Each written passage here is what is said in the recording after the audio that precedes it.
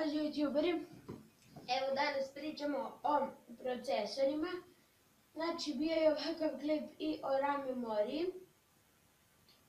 E, sad pričamo o procesorima, znači kako da izaberete procesor, a znači da bude pristojna cena, tu do 20.000 znači. Kad gledate procesor, kod njega gledajte cache memoriju. Znači, ako je cache memorija e,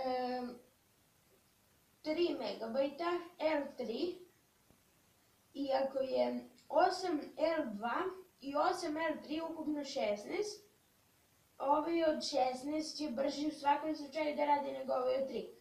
A Intelovi većina imaju mali cache Znači, eto, a, ako renderujete tako klipove za, ta, za YouTube i za to, te gluposti, e, znači, bitno vam je da uzmete sa, sto, sa što više keša.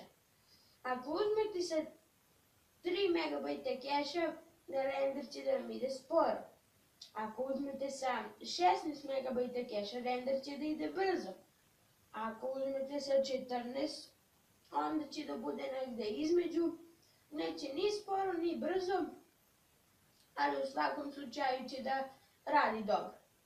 Ali, znači, kad gledate e, do 20.000 na primer, uvijek uzimajte FX seriju 83 2083 508370 sad da li hoćete E, E znači, evo da kažem šta znači E, E, znači, e, smanjen mu je TDP, e, znači, oduzima, treba mu manje, manje napajanja, što je dobro za pojedine procesore, zato što vam ne treba onda mnogo jako napajanje, zato što im je smanjen TDP, a ako uzimate klasičan 3.5.0, na primjer, onda će da vam treba i malo jače napajanje, zato što oni vuču oko 130 W napajanje. Pa vi vidite. Znači, eto, znači, nadam se da sam vam pomogao kako da odaberete procesore, zato što veoma je lako, samo gledajte koji ima e, najviše keša, ali bitno vam je da taj keš bude L3. L2 keš, L2 keš je spor, a L3 keš je brži, Znači, gledajte što više da ima R3 cache memorije.